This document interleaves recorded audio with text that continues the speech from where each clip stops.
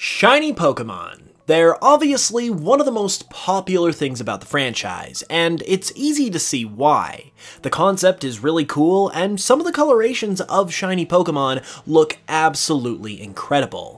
What you may or may not be surprised to know, however, is that there is some additional meaning to the colors behind some shiny Pokemon, and in today's video, we are going to explore the secret meanings of these shiny colors for 25 Pokemon in particular. You might remember that I covered this same topic a while back in a previous video, but the Pokemon and facts I am highlighting today are all brand new.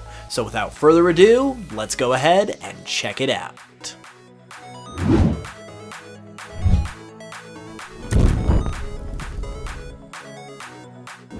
Going in no particular order, let's begin first with Staryu, because why not? Looking at Staryu's shiny form, it is likely colored the way that it is because its shiny colors resemble that of a star in the night sky, which leans into Staryu's star theme all that much more, which is really cool. Another Pokemon that comes from Kanto, meanwhile, is Nidoran, both male and female, and the cool thing about their shinies is that, with the exception of Nidoqueen, both of these Pokemon and their evolutions use the opposite's standard colors as their shiny colors, meaning that Nidoran male becomes blue like Nidoran female, and vice versa. Another pair of Pokemon that seem to be connected to one another in this way are Dedenne and Alolan Raichu. Now, these Pokemon have a distant relationship to one another, as Dedenne is a Pikachu clone, and Alolan Raichu is of course the evolution of Pikachu. Whether this is pure coincidence or is intentional is unknown, but these two Pokemon share near identical color palettes in both their regular and shiny forms, sporting an orange and light yellow color scheme normally, and a dark brown color for their shiny. And since we've just creeped into the Alola side of things with Alolan Raichu, let's go ahead and take a look at some more shinies from this generation.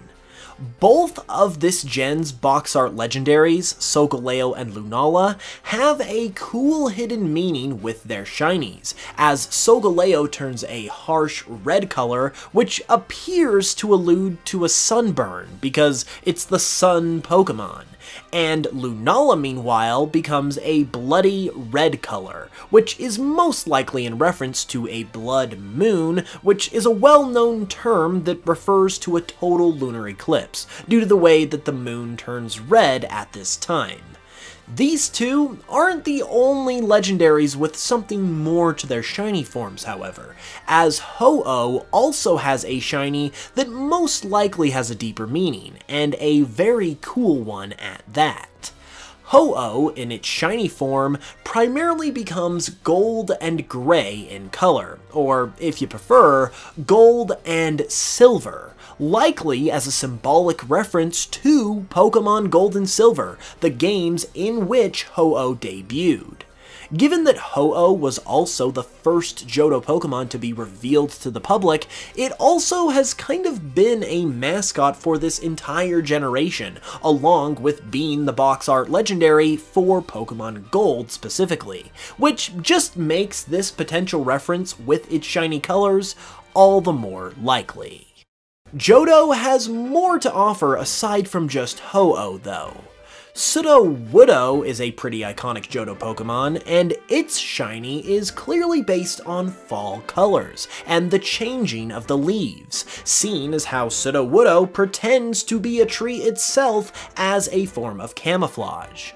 Additionally, there are other Pokemon who are actually trees who also do this too, such as Phantump and Trevenant.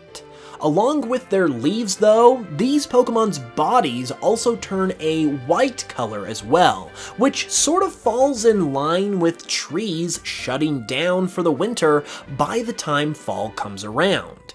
In comparison, Sudowoodo doesn't really do anything like this itself, which kinda connects both of these Pokemon together and just helps to add to the idea that Sudowoodo is a fake tree just that much more. That part of it might be just a coincidence, but it's still cool as heck, so it definitely counts as far as I'm concerned. You know what actually also comes from trees though? Chestnuts. And the Chespin family are all based on chestnuts. This is most likely why they have the colors that they do in their shiny forms, as the reddish brown of their shinies is very consistent with actual chestnuts. Meanwhile, the other Kalos starters have additional meanings to their shinies as well, as Fennekin and its family are possibly a play on the term Silver Fox, which is kind of ironic since that term typically refers to men, while the Fennekin line are more feminine in nature, but overall it still fits well. Lastly, we have Shiny Greninja, whose black coloration is obviously a reference to ninjas, which it is based on. From starter Pokemon to now regional forms, hidden meanings within shinies can even come if the Pokemon in question is a variant. Take for instance Alolan Grimer and Muk. Their shiny colors are clearly based on Kantonian Grimer and Muk, which is pretty cool, and this same concept has also been used for multiple other regional variants as well, including the Galarian legendary birds, whose shinies look like the Kantonian forms of these Pokemon, the Hisuian forms of the starters from Legends Arceus, who in their shiny form all take on the colors of their original appearance, and the shiny of Galarian Meowth might also be inspired by the colors of its original Kantonian form as well. Additionally, Hisuian Voltorb and Electrode gain a black coloration in their shiny, which, given their connection to Pokeballs, could have a connection to the black Apricorn, which can be made into a Heavy Ball, which is one of the Pokeballs that is available in Legends Arceus and is also one of the most prominent. This shiny being based on another variant of a Pokeball is also consistent with the shinies of the original forms of these Pokemon doing the exact same thing with the Great Ball, which makes it all the more plausible. Finally, rounding out the regional variants in this video is gonna be Hisuian Avalugg, whose tusks become an orange color in its shiny, which oddly seems to match up with the rest of its body in its regular form. Since Hisuian Avalugg is less icy than its original Kalosian form, this almost feels like Hisuian Avalugg is adapting even further and embracing the rocky traits that it has picked up, while it continues to abandon the icy traits of its original form, almost as if we are seeing the evolution of this species play out right before our very eyes. Before regional variants were walking the earth and became the coolest thing imaginable, we had the Pokemon of Hoenn, and a pair of those are Numel and Camerupt. These two become gray colored in their shiny forms, which due to these Pokemon being inspired by volcanoes, might be in reference to dormant volcanoes. The reason I mention this is because it's actually pretty similar to another shiny that I covered in that previous video I mentioned earlier, and that would be Slugma. Its shiny is also gray and is in reference to chilled or cooled lava, which is a very similar concept. So since this kind of thing was already going on in Generation 2, I figured a similar thing might also be going on with Numel and Camerupt in Generation 3. Meanwhile, we've also got some more Gen 7 Mons to cover, starting first with Passimian. Passimian's shiny changes its colors to make it appear even more like a football player.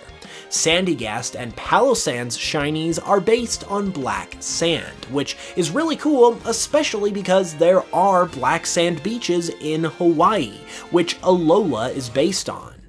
Mimikyu is yet another Alola Pokemon with a cool shiny as well, as it becomes gray to represent the black and white era of the Game Boy that Pokemon first debuted on, since its design obviously has a lot to do with Pikachu and how popular it became during this time frame when Pokemon first released. Finally, to finish off Gen 7, Zera Zeraora is another Alolamon who becomes white in its shiny form, and due to Zeraora's feline appearance, this could possibly be based on white tigers. We've got just three more Pokemon to cover here now, and we've saved the most recent for last, at least until Scarlet and Violet come out anyway. Galar introduced a bunch of cool Pokemon, and one of them is Wooloo.